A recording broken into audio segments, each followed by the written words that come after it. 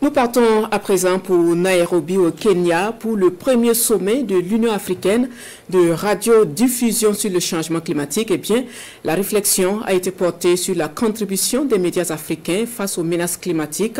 Une trentaine de journalistes d'Afrique et bien entendu du Burkina ont pris part donc à ce sommet qui a posé le débat sur le rôle des médias africains dans la gestion des catastrophes provoquées par le changement climatique.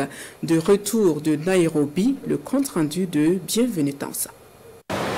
Encore des précipitations à Nairobi alors que le Kenya pleure au moins 200 morts dû à de fortes pluies et inondations depuis plus de deux mois. Ici comme dans le reste du monde, le défi climatique reste permanent et ce rendez-vous de la capitale kenyane n'est plus à démontrer. Des journalistes de près d'une trentaine de pays africains réunis à la demande de l'UAR, l'Union africaine de radiodiffusion.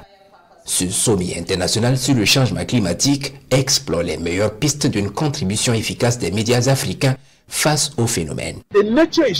La nature nous parle. Face à la situation critique de la nature, nous nous devons de prendre des mesures adéquates pour aider les populations.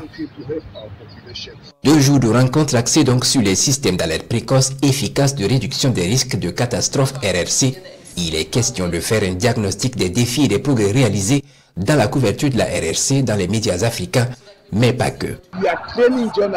Nous formons les journalistes à être des acteurs qui participent à la prévention des risques de catastrophes afin d'éviter notamment les pertes en vie humaines.